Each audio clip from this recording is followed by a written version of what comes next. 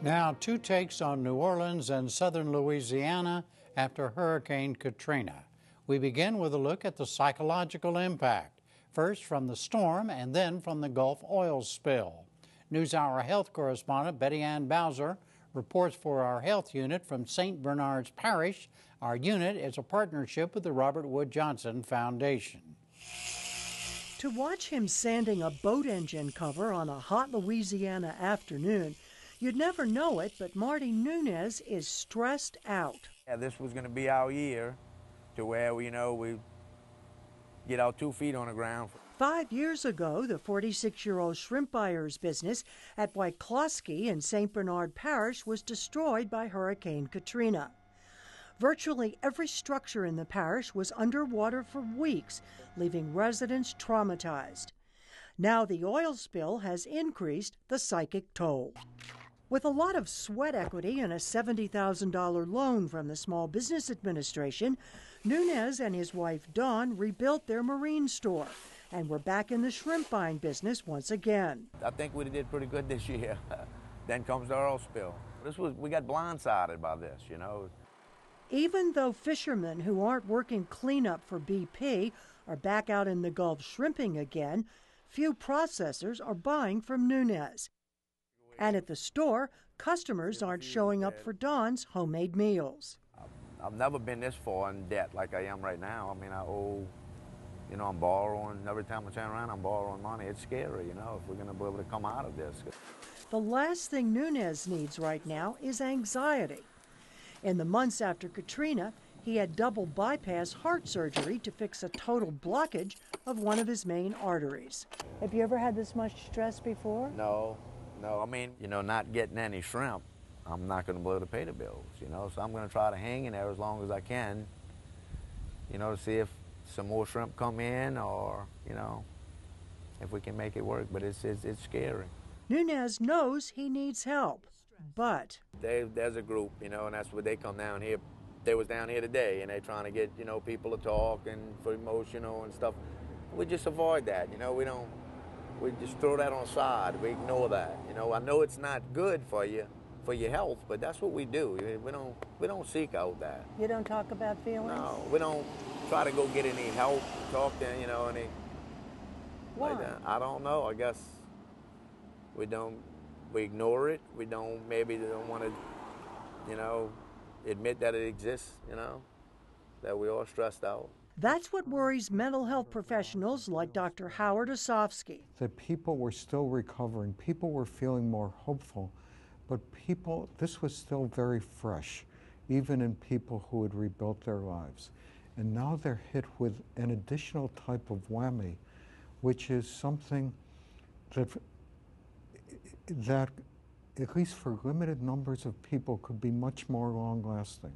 Osofsky's the head of psychiatry at Louisiana State University's Health Science Center in New Orleans.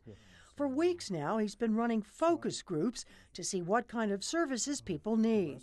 I'd be interested in how all of your perceptions over the last five years since Katrina and now with the oil spill and what the parish is going through and what you're personally experiencing.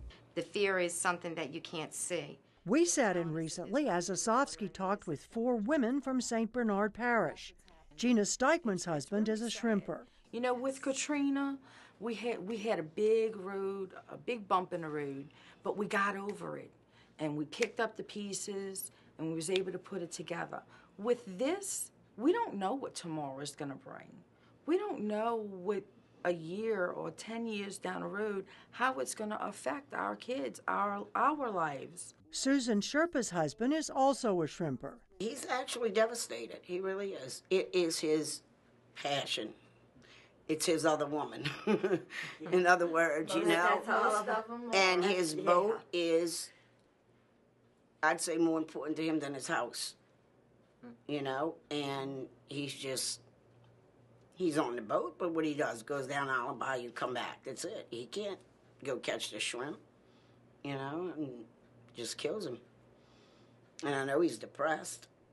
Yeah, yeah. They don't talk about He's not the same person he was.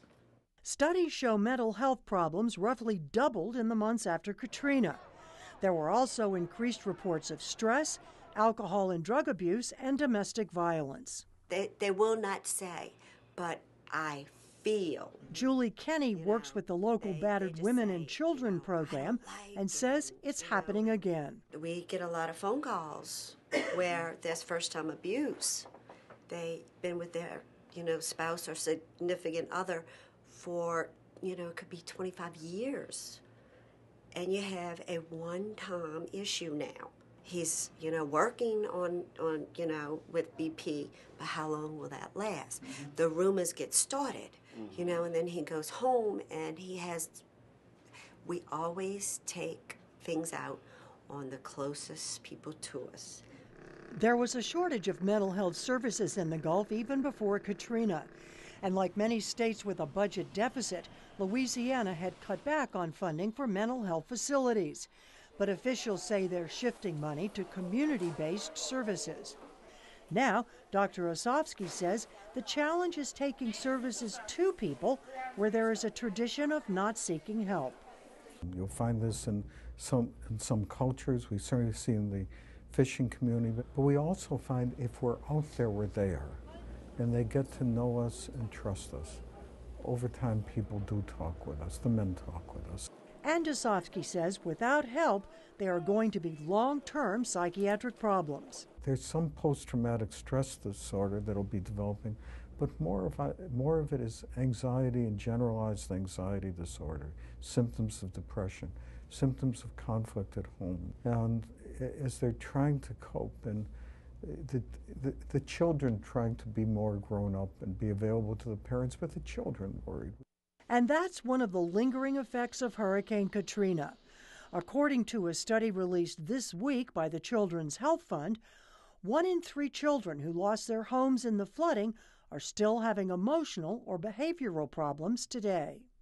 BP recently announced it's giving $52 million to the four states here in the Gulf most affected by the oil spill to provide mental health services. The state of Louisiana is getting 15 million of that amount or a little less than half what state officials had asked for. Larry Carbo is a crisis counselor for Catholic Charities, which will get 6.6 million of the BP funds. I, I, don't think it's enough. I think I think we have to have monies that's going to uh, uh, make us go into the uh, future. It's going to be here. While Katrina, we we did uh, uh, counseling services with for Katrina uh, for five years, you know, and we still getting uh, people, firefighters that will call us on a, on a regular basis and tell us that they're still having trouble. How's the spill affected you in particular? Every day, Carbo goes looking for crabbers, fishermen, and shrimpers at Pointe a la Hache, 50 miles south of New Orleans, where he says people are under a lot of stress. And when you see uh, grown men cry, when you see their wives uh, tell me that they've been ragging on their husbands all day long, you know, for five days a week, and they don't know what else to do because they don't know when uh, the next uh, money is going to be due uh, for a boat note, you know, and they don't know where the house note is going to come from. So uh, they're very, uh, you know, sad about that, and, and they'll cry. Where we come in at is that we're there to listen to them. Just by listening means so much to people. Yeah, that's all we got is a couple hundred pounds of shrimp. But the issue for many mental health professionals is how to get to people like Marty Nunez. We eat, live, and we breathe this. You know, that's how we grew up doing this. You know, the, well, we hope and we pray for the best. You know, but that's why I'm saying this. The thing that scares me the most is, you know, what's going to happen if, which I think our seafood may be impacted. You know, for years to come, and what's going to happen then? You know what I mean? you know, I don't think everybody wants to keep working for all cleanup. You know, that's not no future. Mental health professionals in the Gulf say that's the biggest challenge of all right now. How do you treat uncertainty?